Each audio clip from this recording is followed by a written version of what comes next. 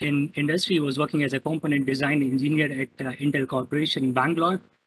Uh, his uh, interest uh, is uh, ranging from uh, wide areas from MRAM, spintronic devices for communication, spin torque uh, devices, devices for bio-inspired com- computing, spin in quantum materials, and computational spintronics.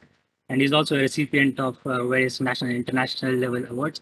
So, uh, Professor Rahul, it is a pleasure to welcome you here, and uh, uh, we are looking forward for a very interesting talk. Uh, it's uh, over to you. You can uh, share your screen. Thanks.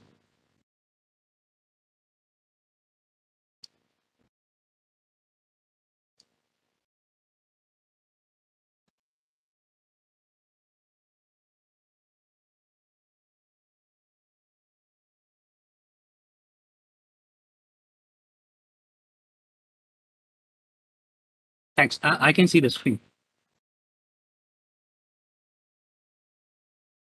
Uh, I think, um, yeah, I'm not sure, but I, I, I cannot hear you. Uh, what about others?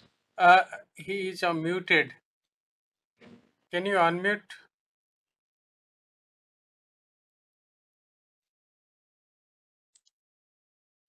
Okay, I have unmuted. Okay. uh, Okay. Yeah. Now you can hear you. Thanks. Okay. So uh, thank you, Dr. Naveen, for the kind introduction. And thank you, Professor Mudli, for inviting me to present this workshop. So the title of my presentation is I will be talking about magneto-ionic devices. How can these magneto-ionic devices be used in uh, high density to make high density memory and also for neuromorphic uh, hardware.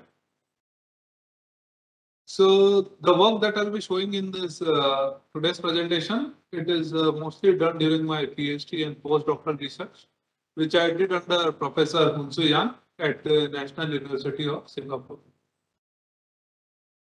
So talking about spintronics, so one of the uh, popular and one of the most practical application of spintronic is towards making MRAM, that is random access memory. And currently the spin transfer torque based memory has been commercialized. So what happens in spin transfer torque memory is we have two ferromagnetic layer divided by a spacer layer and a current is passed through it. And this current actually changes the state of the free layer. However, there is a small uh, barrier layer which is insulator and due to when we pass current through it so many times, the barrier eventually breaks down. Therefore, this STT memory normally have low endurance. A solution to this uh, STT memory is uh, something called as SOT memory, SOT devices. In SOT devices, what is the good thing is we have two separate paths for reading and writing. In this STT, we have a single path for reading and writing. In SOT, we have two separate paths for reading and writing the thing. Therefore, the advantage is the endurance is high and there is more read margin. You can pass a lower read current to read the device. However, the SOT memory cell has a very big disadvantage. If we see how a STT cell is, cell is implemented in a memory, normally in a memory architecture, uh, one STT cell requires one transistor. However, a SOT cell requires two transistors, one for reading and one for writing. So therefore, the density, if you make a big memory out of this, the density of SOT memory will be quite high. And therefore, the price of this SOT memory will be very high. So this higher areal density is a challenge for SOT cell. However, instead of uh, having two transistor for one cell, if we have SOT architecture something like this, we have a single write channel on which we keep, keep the various bits. And we have only one write access transistor in there. So the total number of transistor required per cell reduces drastically. Now there is only one transistor required per cell for reading and one write access transistor at end of the write line. So if we have some architecture like this, then the uh, basically the areal density of SOT memory can be reduced a lot. If we look in this, uh, for example, if this particular architecture that we proposed, if we see it in a th three by three memory architecture, it will look something like this. So these are the write channels, which are basically heavy metals, and this is the write access transistor, and these are the read access transistor for each cell. With our collaborators in Boria, we did some spice simulation and we found that the areal density of this particular uh, SOT memory is actually twice compared to the conventional SOT memory in which uh, there is two tran- transistor per unit cell. Now let's take a look with this particular architecture for SOT, how can we perform the reading and writing operation? So the reading operation is pretty simple. If you want to read the elements in this particular row, what you will do is you will turn on the read access transistor and which will basically ground this uh, particular uh, write line, this particular shared channel. And then you can just read the resistance of each individual MTJ using this uh, read lines. So this is how the read operation can be carried out. The main challenge is challenge is how to carry out the write operation. Now, as uh, we saw previous in the previous slide, the architecture is something like this. You have a shared write channel and you have the bit sitting on top of it. Now, in a uh, spin orbit torque device, the switching occurs either due to the spin Hall effect or uh, the Rashba effect. But basically, when you pass a current through this uh, channel, some spin current is generated. Spin is accumulated at this interface of magnet and the associated force. The direction of this accumulated spin depends normally on this heterostructure, what kind of heterostructure you are using. Now, what is going to happen is the direction of spin under these three bits is going to be the same. So therefore, when you pass the current, right, these three bits are going to switch in the same direction. Either they will switch up or they will all switch down. So basically you can write information like 111 or 000. If you want to write the information like 101, this is not possible because the direction of spin accumulation under each bit is same.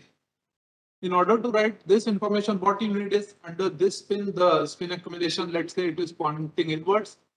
For this particular bit, the spin accumulation is pointing outward. And for this particular spin, the, again, the spin accumulation is pointing inward.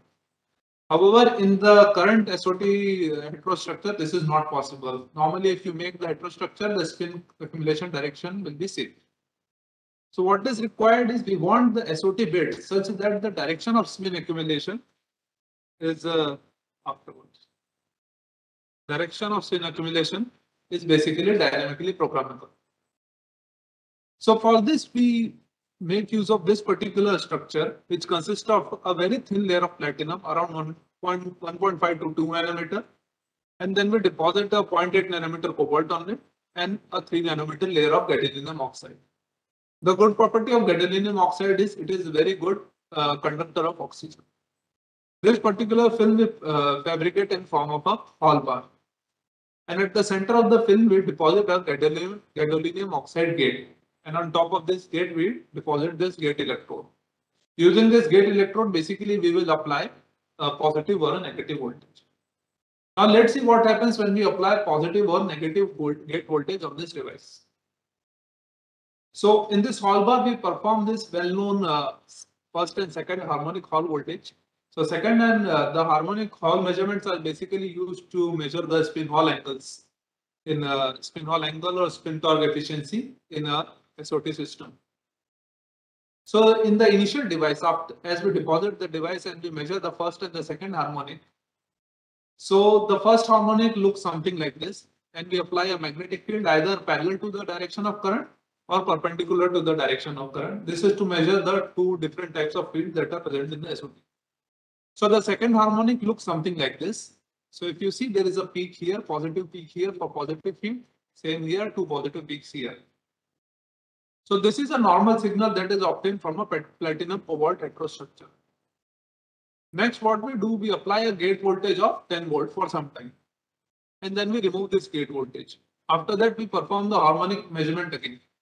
What we see is that the first of all, the magnitude of this AHE has reduced because the oxygen comes in and it oxidizes the cobalt. Surprisingly, what we see that the second harmonic signal, it actually flips the sign instead of positive, now it becomes negative, both in the parallel and perpendicular uh, configuration. This type of harmonic Hall signal is actually seen in uh, materials with negative spin Hall angle like tantalum and uh, hafnium. So which is very surprising from a that in a platinum cobalt system you are seeing a spin Hall angle of a uh, tantalum, negative spin Hall angle. Next, we apply a positive gate voltage of 4 volt. Again, we measure the first and second harmonic signal. After applying positive gate voltage and measuring, we see that the second harmonic uh, voltage now again becomes positive as shown in this figure. Next, we again apply negative gate volt. Now the second harmonic again changes its sign.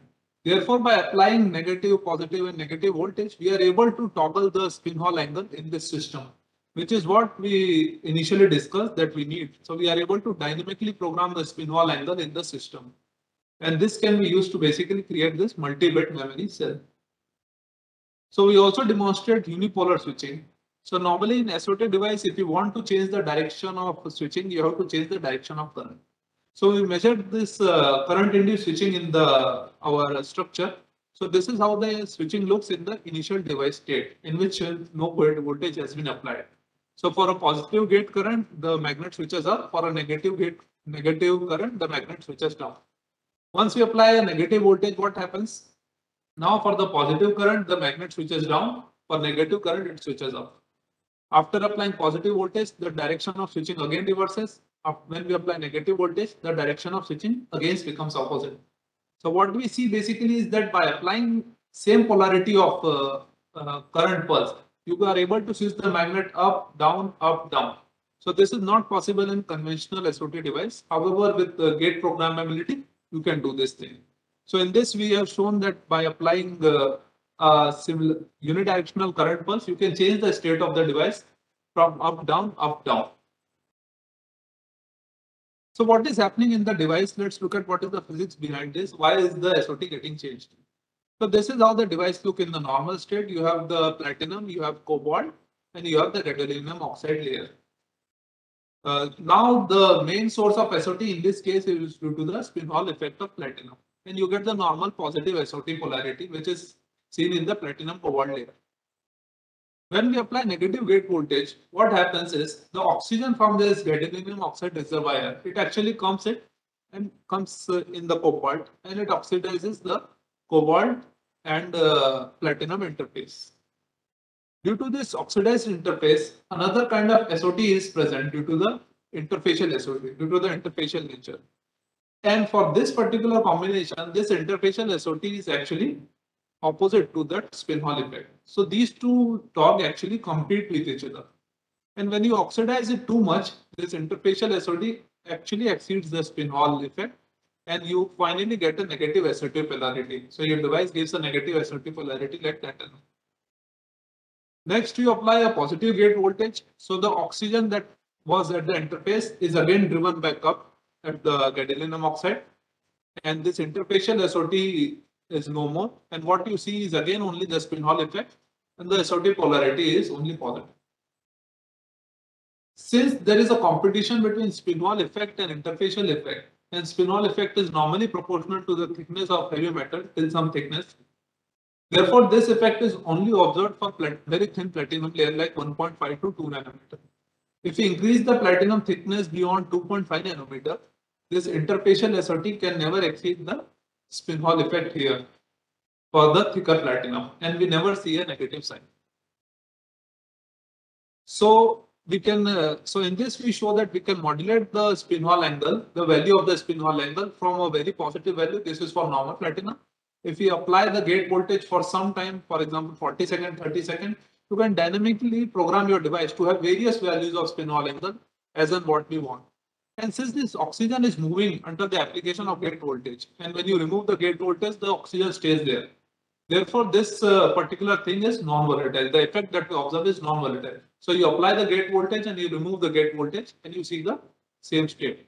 So therefore, the spin Hall angle as we show in this can program by applying various gate voltage from positive to here zero. And then here we have very negative gate voltage of minus 0.1. Then again, we apply opposite positive gate voltage. So oxygen goes back up then again we have here zero spin Hall angle. And again we have positive spin Hall angle.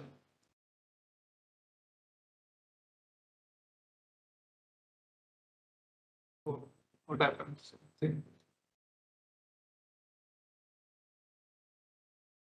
I think my screen got Uh, yeah, I think it went into the present mode and it's Yeah. frozen, I think. Are uh, to start again. Just a second. Sure.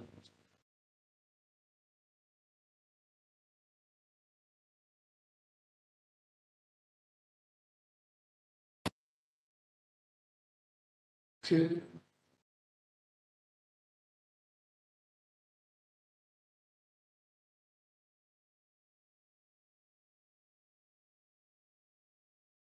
Yes, I hope you can see the slides. Uh, yes, it's perfect. Thanks. Okay.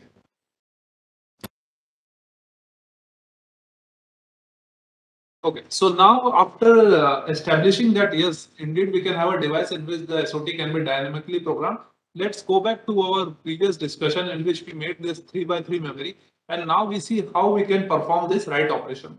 So now let's say if you want to write some information, let's say 101 in this particular device, what you will do in step one, you will apply some negative voltage to this uh, particular device and apply positive voltage. So when you apply negative voltage, this particular bit will have negative SOT polarity under it. These other two bits will have positive SOT polarity. And now when you pass in the second step, when you pass a current through this particular shared write channel, so these two bits with positive SOT polarity will switch up and this middle bit, which we have programmed in the opposite way, will switch down. Therefore, now you can write all sort of uh, digital information, all combination of digital information in this uh, particular uh, area efficient memory.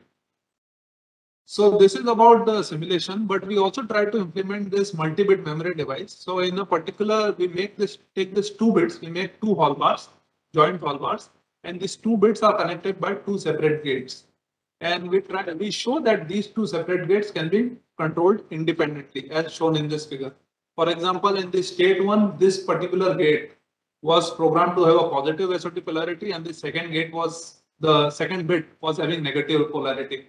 And similarly, the polarity can be changed also. For example, here the first one has negative polarity and the second one has positive polarity. So the two bits can be independently programmed, which is the requirement of our shared write channel memory. And these two bits can be show that they can be switched also independently. So this is the normal state, the initial device state. So if you pass the current through the shared light write channel, both the bits switch in the same direction, right? As you can see here. Now we apply negative gate voltage on this particular bit 2. Now what happens when we pass a current? This bit switches up, this bit switches down for a positive current. Next we apply negative gate voltage on bit 1. Now both the bit switches in the opposite direction. Finally we apply positive gate voltage here. Now what happens? This but first bit switches down for positive current. The second bit switches up for the uh, positive current. So therefore you are able to as you can see in this summary, by applying same current polarity, that's the positive current polarity, you are able to write all this uh, combination, all this combination of two bit information, 1, 1, 1, 0, 0, 0, 0, 1 in this particular uh, shared write channel memory. So to conclude this part of the talk, so basically the direction of spin accumulation can be changed by electric field in this particular microstructure. The channel region can be programmed so that different part of the channel has different spin Hall angle. And this is very promising for future SOT MRAM architecture, especially for high density application. And it is also uh, promising for uh, uh, logic and FPGA like circuits. So in my second part of the talk, I'm going to show that this particular magnetic ionic device can actually be used for some kind of neuromorphic hardware also. So brief introduction about neuromorphic hardware. So I think around 2014, there was a computer AlphaGo. There is a computer AlphaGo by Google. And it actually beat Lee Sedol from Korea in this uh, game of AlphaGo. Sorry, there is a computer and AlphaGo is the game. I'm sorry. And everyone was praising this until someone pointed out that AlphaGo actually uses tons of uh, CPU and tons of scientists were involved. Basically, it's a very power hungry device. On the other hand, Lee Sedol is just a very small human brain and it's operating on one coffee and some uh, small breakfast. So the conclusion is basically human brain is a very efficient uh, computer, a very efficient thing to perform some very specific tasks, which the normal computer takes very high energy to do. So how does a human brain operates? So inside the human brain, you have this small cells called as neurons, and these neurons are interconnected with each other. So one particular neuron is actually connected to around 10 to the power 5 other neurons. And in a normal human brain, there are 10 to the power 11 neurons. So what happens is one particular neuron emits a potential spike. This potential is by this calcium and sodium ions. This potential spikes, it goes in this gap between the two neurons. And this gap between the two neuron, which is known as synapse, this is where normally it is believed that the human memory or memory in a normal uh, animal world lies. What this synapse does is it adds weight to this potential spike. It will either increase the potential of this spike or it will decrease the potential of this spike. As you can see here, it can decrease or increase by adding weight.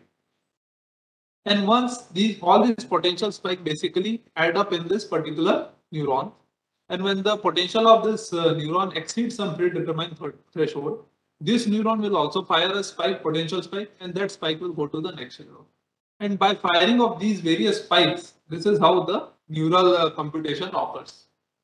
So to mimic this neural computation, we already know now there is a famous field of uh, famous area of artificial intelligence. It works by mimicking this uh, biological neural network. However, it is slightly different in which various neurons are basically arranged in this different layers. These are the hidden layer. This is the input layer, output layer. And again, same type of computation is carried out. Basically, there is a weighted summation. So all these inputs are multiplied by the various weights and all inputs are connected to the output of all the outputs of the next layer. And then this weighted summation at the neuron they are basically then computed using this uh, neural function, basically a, a nonlinear function in which they can have two different values. So if we want to make, make basically a human brain, what we require is we have to implement this particular architecture. Problem is with CMOS is uh, in silicon, if you want to implement this synapse and neurons, to implement each synapse and neuron, you require 10 to 15 devices. So what is required is you if a single device can do the function of this synapse, that is can store this weight, analog weight, and also can do the neural function, it would be great. So let's see how our device can actually work as a magnetic synapse. So as I mentioned previously, the role of synapse is to, is to store analog weight. So if you remember in our cobalt GDOX device, when we apply negative gate voltage, what happens is that the oxygen comes in and it oxidizes the cobalt. The result of oxidation of cobalt is that the magnetization of the cobalt reduces drastically. And you apply a positive gate voltage, the oxygen goes back up and the uh, magnetization increases again. So if we if magnetization we consider as a measure of weight, so we can program this magnetization by controlling how much oxygen is there in the cobalt. And this weight or this magnetization can basically be measured by measuring the AHE loop, simple AHE measurement if we do, so we will know the weight. So all these different values can be programmed in this uh, small device. So for example, as shown here by applying various gate voltage pulses, you can have your device to store all these weights, which can be measured in form of the anomalous Hall resistance. By applying, so in the next four, five slides, I'll show that this particular cobalt GDOX platinum device actually shows various properties of a biological synapse. So biological synapse, and if you increase, apply some stimulus, its weights will uh, increase. And if you apply a negative stimulus, its weight actually decreases. So same thing we see in our device. If we apply a stimulus, the weight can actually gradually increase. And the most important thing is it can have all these different weights, which is not possible in a silicon memory. So it can all have these different weights and a single device can be used as a synapse. And you apply a negative gate voltage, the weight keeps on decreasing and you can have all these weights also again. So these uh, increase of weight is called potentiation and decrease is called depression. Next is the spike magnitude dependence. So normally in a human synapse, right, if your stimulus is high, then the weight changes quickly or weight changes by a large amount. Same thing we see here. If we apply a gate voltage of let's say 8 volt at 20 milliseconds, then the change in the RAHE or change in the magnetization is less. However, if a larger stimulus is applied, then the change is very large in the device. Next is temporal dependence. In human brain also, if we get stimulus very quickly, the change in the synapse is more. If some events occur very quickly, we form a very strong memory. So same thing we see in our device also. If we apply many multiple pulses to our device. However, if the delay between these pulses is very small, we see that there is a large change in the weight of the our device. However, if the gap between the various uh, stimulus pulses is large, for example, 400 millisecond, then the change in the RAHE or change in the weight of the device is not very much. So this behavior is also similar to the human synapse. Second is the spike timing dependence. If you apply a positive and the negative pulse together, and if they are close by, then again there is a very high. If they are close by, then the uh, change in the synapse weight is very large. However, if they are far apart, then there is almost no change in the synapse. Finally, our device also shows learning and forgetting behavior. For example, if we increase the weight of our device by applying these gate voltage pulses for uh, some time, and then after this moment, we just don't apply any pulses. Then we measure the state of the device. We see that the RAHE or the weight of the device keeps on decreasing gradually. This is similar to a human brain in which uh, if you keep repeating something, you have a nice memory. However, as soon as you stop repeating it, you gradually start forgetting. However, in a human brain, if you don't repeat something for a long time, you keep forgetting. So this is what our device shows. So we train the device till here. After this, we leave the device. So we see that the device keeps forgetting at the same rate. However, if we train the device now, that is after this particular, when we arrive at this moment, now we apply this pulse here for a very long time. So what happens is if we apply that pulse at the top uh, uh, peak for let's say 10 times, then the forgetting is there. If you apply for 20 times, then the forgetting becomes slower. Apply for 30 times, then the forgetting becomes even slower. Apply 40 times, then there is very slow forgetting. So actually this can be filtered by this kind of, uh, we can, uh, this exponential forgetting time, I will say decay time, we can say. And as the number of training pulses increases, the rate at which uh, the synapse forgets what is stored in it keeps on increasing. So this is similar to long-term memory formation in brain, in which if you keep repeating things for a long time, you do not tend to forget it. So, so basically through these slides, I've shown this uh, magnetoionic device can not only be used in non-volatile memory, but also it shows many behavior of this human uh, synapse, biological synapse. So with this, I come to end of my talk. And yeah, thank you all for your attention. And I would be glad to take any questions. Uh, thanks a lot for this uh, interesting talk. Now the, the talk is open to questions from the audience. I think I already have something in the chat. Uh, but uh, Somiru, if you want to ask uh, the question directly, you can go ahead. Uh, hello, am I audible? Yeah, Uh, yes, yes. So the idea of using this shared uh, write channel is to just, uh, I mean, enhance the memory density, real memory density. right. Uh, right. And now you, uh, now, uh, yeah, with use this gate voltages, we can use that, but that also required each uh, voltage source, gate voltage source for each bit. So is it uh, not affecting the real density of, I mean, for each bit now we use, use uh, we need a get uh, get voltage source or something like that. No, so wait a minute. So if we see, we are the, we are applying the gate voltage. Can you see my slide? I hope. Yes, sir. Yeah, we can still see. this. Yeah, so this is the memory architecture. So Yes. normally, okay, I'll go to the read operation. So the reading we carry out like this, right? So the gate voltage we apply through this read path only, from where we are carrying the reading. So there is no extra circuit or no extra transistor required for this gate voltage source. We will of course have some circuit here, one small circuit for reading and one small circuit for applying gate voltage. But that is it. For individual bit, there is no difference. The same path is used for reading and the same path can be used for applying Okay. gate voltage from top. Another uh, question was that that cobalt when cobalt become oxide, so Yeah. it is still a ferromagnetic or it's a CO3O4 or something. Sometimes cobalt oxide are antiferromagnetic also. No, so it is not always completely oxidized. We do not oxidize it to a very extreme uh, extent, so it remains ferromagnetic. As you can see, we can still measure the AHE loop and also it remains ferromagnetic here. Okay. Okay, thank you. Uh, thanks a lot. Sachin, I think uh, you have a question. Please go ahead. Yeah, yeah, yes. Uh, thank you, Professor uh, Rahul, for ni- for a nice talk and good to see you after a long time. Yeah, so I have a question um, on slide eight and nine. So you said that your platinum thickness was uh, two nanometer. Yeah, So I believe it is the less than the spin diffusion length. Right. And uh, you said that um, when you increase this platinum thickness, you don't see the effect of the oxidation. Right.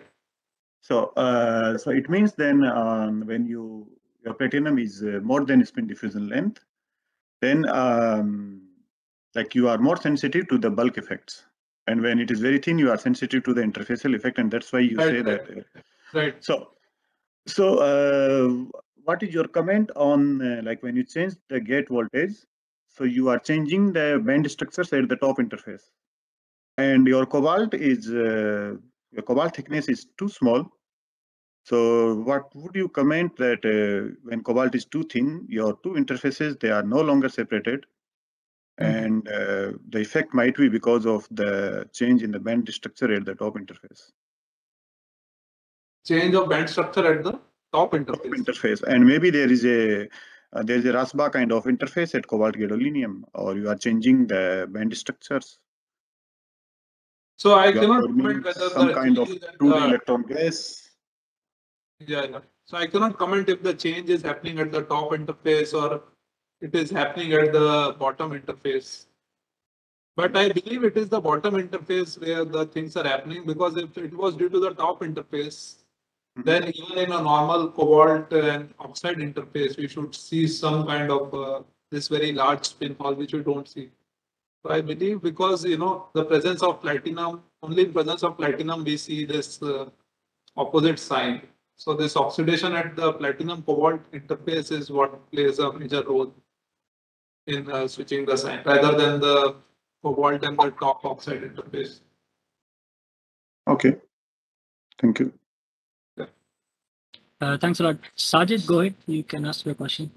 Mm, And Thank also you, just, thank you, uh, Rahul, for very nice, uh, nice help. Yeah. I have a connection question with the with Sachin. So uh, with the oxidation, uh, because you see the the, uh, the hysteresis, with Hmm. oxidation you never uh, uh, regain your initial hysteresis or initial initial state of magnetization. Even Right. uh, in, in in second harmonic signal, your your anisotropy basically reduced a lot. Even I think one. uh, 0.5 Tesla or even more. Right. So mm, uh, I was wondering that if you perform this operation for uh, more than uh, even increase increase, then do, do you think that uh, you are losing the state with time, and losing- ultimately you will lose everything? We are losing, I didn't get it, the last, uh, Sorry, uh, sorry, you didn't hear that.